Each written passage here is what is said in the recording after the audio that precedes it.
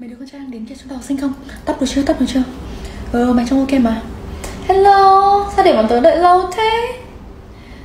Mày có gì dính trên mặt kìa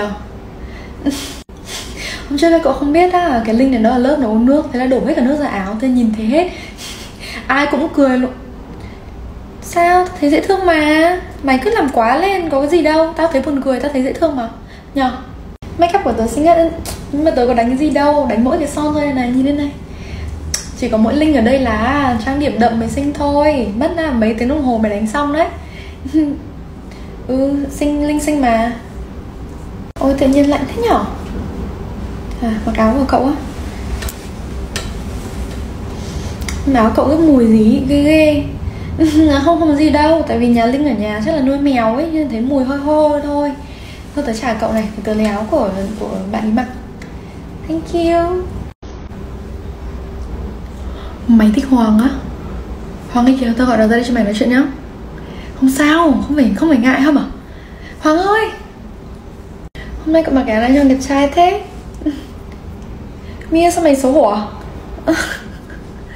Chả hiểu. Cho tớ mượn cái mũ đi.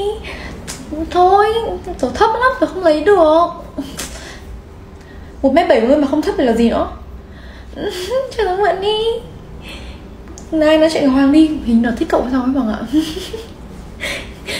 Sao? Em biết sao ấy? Kìa thích Hoàng thì nói đi. Điêu đấy, nó điêu đấy. Nó vừa kể cho tớ nó thích cậu xong. Nhưng mà cậu về lớp à? Ừ ok ôm một cái. Bye bye. Em bị làm sao đấy? Tao gọi nó ra cho mày rồi gì nữa Sao mày cứ xấu hổ ấy nhở? Mày mình con điên ấy. Mày กับ Hoàng như nào rồi? Vẫn nói chuyện nào? Hôm qua tao cả hoàng nói chuyện với nhau đấy. Thì nhắn tin buổi tối thôi cũng chẳng có gì nhiều. Cũng nhắc đến mày mà nha mày một tí.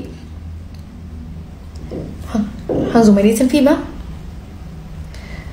Nhưng mà mày định mặc gì? Áo màu đen đấy á mày mặc áo đen trông béo lắm. Hay mày mặc cái áo mày có một cái áo không mày nhớ cái áo mà hồi lớp năm mày mặc không? Mà kẻ sọc đen trắng ấy mày mặc cái đấy hộp tao thấy mày mặc cái đấy đẹp nhưng mà mày phải make up ít thôi. Mày make, make up dày cộm lên như thế tao không nghĩ hoàng thích này đâu. Nhưng mà mày cả hoàng nói chuyện với nhau có giờ hoàng ghét thằng tao không? Không à?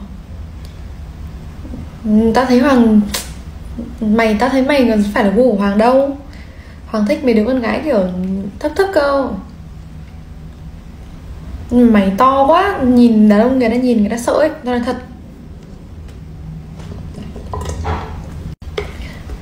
Mà hôm nào mày mới đi xem phim? Tối thứ bảy á. Hay tối thứ bảy qua nhà tao chơi không? Tao mới mua cái này hay cực. Má, tóc mày hôm nay làm sao ấy, xấu thế.